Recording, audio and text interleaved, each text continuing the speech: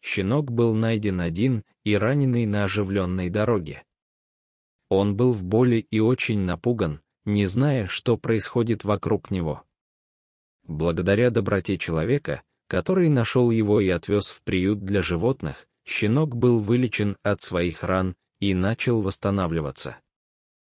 Приюте щенок получал любящий уход и ежедневное внимание от волонтеров. Его регулярно кормили, давали свежую воду и комфортное место для сна. Со временем щенок начал привыкать к присутствию людей и доверять им.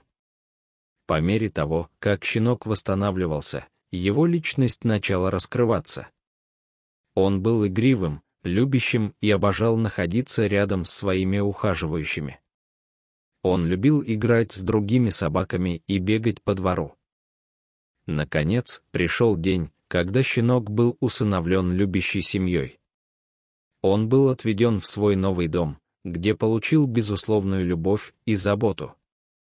Теперь щенок процветает в своем новом доме, и его превращение в счастливую и здоровую собаку действительно вдохновляет. История от Араризада и Комдор показывает невероятную способность животных к восстановлению и важность любви и заботы в преображении жизней. Мои друзья, подписывайтесь на наш канал для просмотра большего количества видео.